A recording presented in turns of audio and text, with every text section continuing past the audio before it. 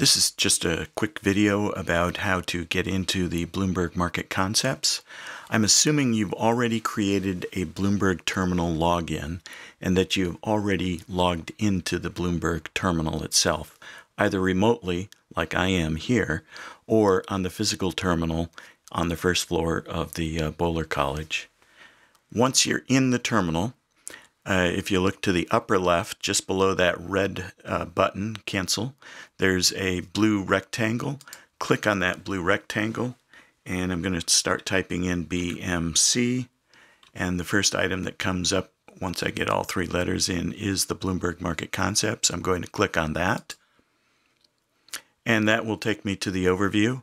First thing I need to do is to sign up for the Bloomberg Market Concepts and you're going to continue as a learner and you're going to type in your name.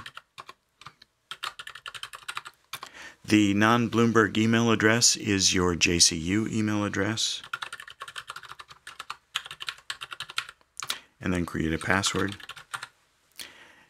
Then the next item down here is very important. Uh, are you taking BMC as part of a group? And the answer is yes, so check that box. It'll bring up this little window and you will put the class code into that window. This is the class code for spring of 2021. So if you're viewing this video after the spring of 2021, make sure you check your syllabus for the correct class code. Then click OK. And then, of course, read the terms of service and signify that you read and agree to those. And then click on the sign up button. Now, in my case, I'm getting a uh, error message up here at the top that the email address already exists in there. Uh, you will get a confirmatory email. Just follow the instructions in that. Once you've followed that, then you can come back down here to step seven, which is logging in. And again, you'll put in your JCU email and your password. And click log in. I just close out this uh, window that pops up, the Citrix window. Now, here's an interesting uh, feature in here, and I believe this works. I've tested it out, but uh, I don't have it that it's bulletproof going to work for you, but uh, it does appear to work for me.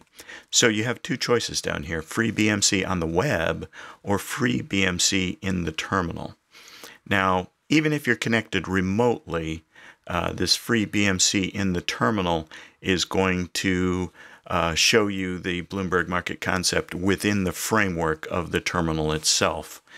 Um, I've found that the free BMC on the web actually opens up a new tab in your browser, and it's a little bit easier to uh, to watch. It, the screen is bigger; it's not confined within the context of the terminal window. So I'd recommend trying this out. The other really important feature here, and this again, I, I, it's worked for me. Hopefully, it'll work for you.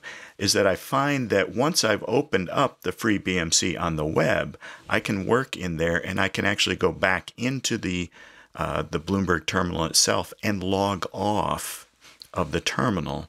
That way, opening the terminal up to other students who may need to use it. So this could save us a lot of time in terms of conflicts.